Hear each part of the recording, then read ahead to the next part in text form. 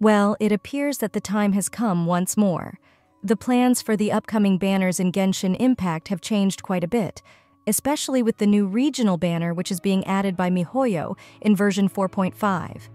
Anyway, I wanted to give you a heads up so you can plan your pulls with the limited Primogems we'll be getting.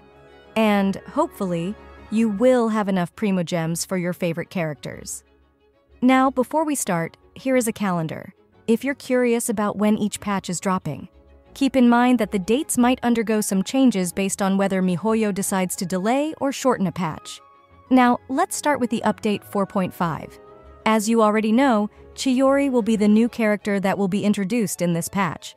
We already saw her drip market, and oh boy does her burst look good. Must be one of the best looking bursts I've ever seen in my opinion. If you're interested in seeing her burst or gameplay, just search it on Twitter or X. You will find her gameplay there. Can't post it as you know.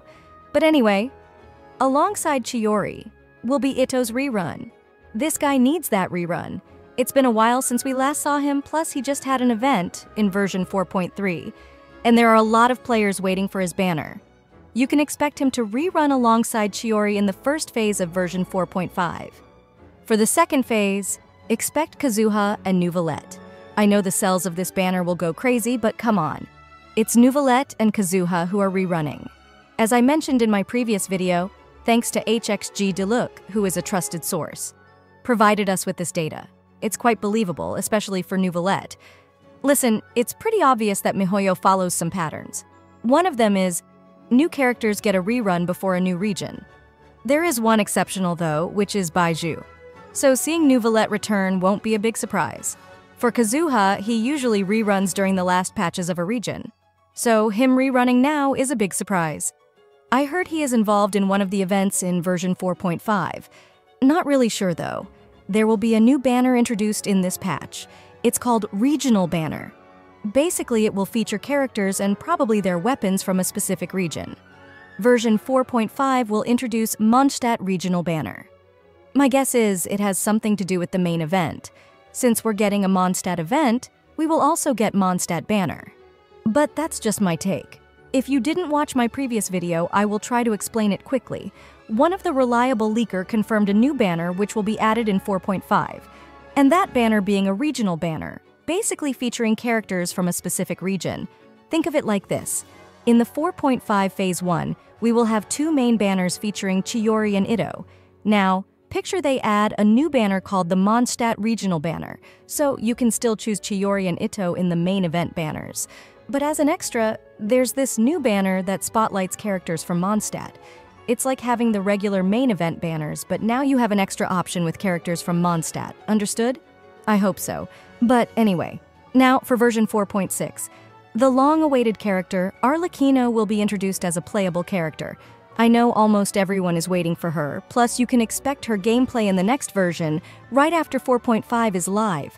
Alongside Arlecchino will be Alhaitham. Alhaitham, one of the best DPS units in the game, will rerun alongside Arlecchino in version 4.6. I mean, 4.6 will have a Sumeru event, I think it's Sumeru Festival event or something, but I'm not really sure.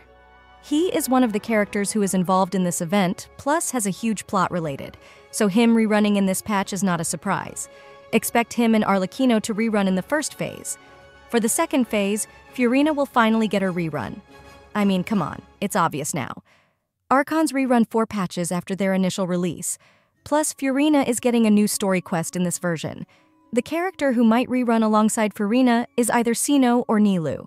Listen, Cyno is rumored to get a new story quest in version 4.6, so I don't know if he might rerun in this patch. For Nilou, she has the same logic applied to Alhaitham.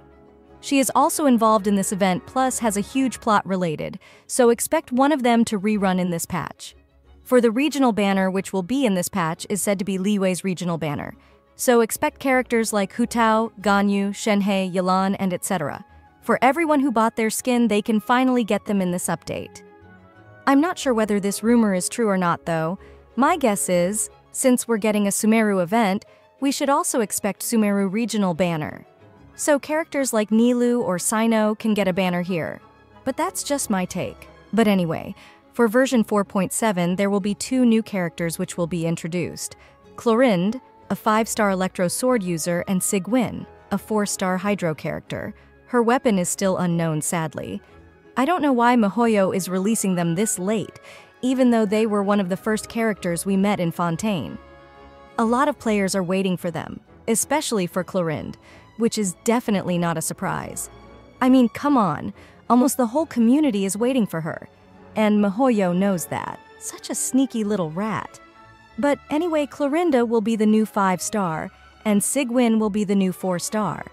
For the reruns, you can expect Lyney, Wriothesley, and Kokomi. It's not so surprising to see Lyney and Wriothesley rerun.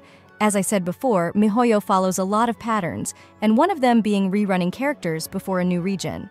So before we go to Natlan aka the Pyro region, the new characters who are released in 4.x update will first rerun in this region. For the regional banner which will be featured in this update, we're not sure. I heard some rumors about Inazuma Festival in this patch, but come on, it's way too early to believe that. But yeah, keep that in mind. If they feature Inazuma regional banner, we can expect characters like Ayato, Ayaka, Yoimiya, Kazuha, and etc. Inazuma regional banner is such an OP banner, but let's see how things go for this patch. Oh, also, there will be another new 4-star character that might be introduced in this patch or in version 4.6, so do keep that in mind. Now moving on to the last patch of Fontaine, version 4.8. We will not see any new characters in this update. All the characters who will be featured are reruns, so the characters who will get banners in this patch are Navia, Xianyun, Klee, and Wanderer. For Navia and Xianyun, yeah, I already explained it before, they will rerun before Natlan. And for Wanderer, I heard he is involved in an event in this patch, or he is getting a new story quest.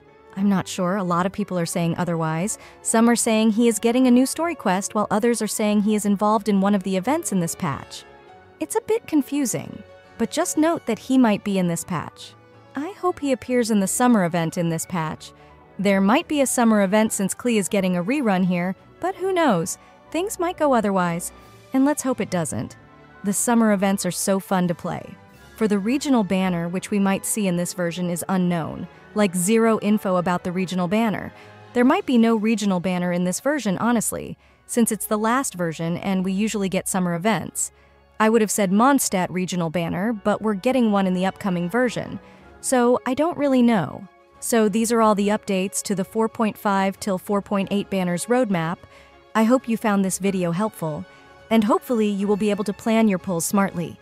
If you haven't subscribed yet, make sure to do so since I usually post videos related to banners and more. Also, do let me know what you think about it and who you are pulling for in the comments below. Until next time.